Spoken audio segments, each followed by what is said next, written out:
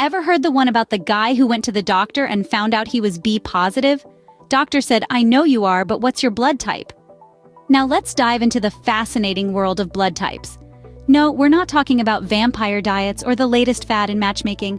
We're about to spill the truth, or rather, the blood, on what your type might say about your health. It's a peculiar thing, this blood type business. Your type doesn't dictate whether you're more likely to enjoy romantic comedies over action flicks, or if you should stick to a career in finance over becoming a circus clown. But intriguingly, it can give us a few hints about your health. Are you prone to certain diseases? Could your blood type affect your digestion? Or even, dare we say it, your fitness level?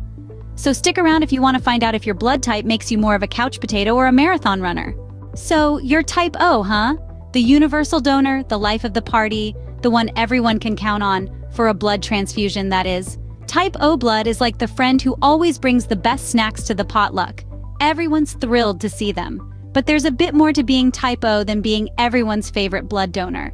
Studies have shown that type Os have a lower risk of heart disease. That's right, your heart is likely as robust as a marathon runner's, even if the most running you do is to catch the ice cream truck. But before you start celebrating, let's talk about stomach ulcers. Type Os have a higher risk of developing them. It's like being great at donating blood, but not so great at digesting food. So while you're out there saving lives with your universal blood, make sure to take care of your tummy too. But hey, at least you're less likely to get heart disease. Silver lining, right? Type A, the agrarian. You might not be farming, but your body sure thinks you should be. Now, the health implications of type A blood are quite a mixed bag. On the bright side, you guys have a lower risk of stomach cancer, so cheers to that. But before you start celebrating, there's a catch a higher risk of heart disease. So maybe hold off on that second piece of cake. Here's a fun fact Type A's are great at digesting grains and vegetables. So while your friends are struggling with their kale salads, you're over there like, what's the big deal? But here's the twist in the tale. You may be a champion at chomping down veggies, but your Achilles heel? Stress. Yep, type A's aren't exactly the Zen masters of the blood type world. So next time you're stressed, just remember, it's not you, it's your blood type. Type B, the balanced. But don't get too excited. It doesn't mean you're good at yoga.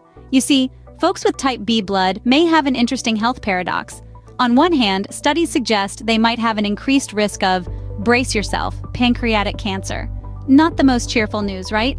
You're probably thinking, I can't even locate my pancreas, let alone worry about it.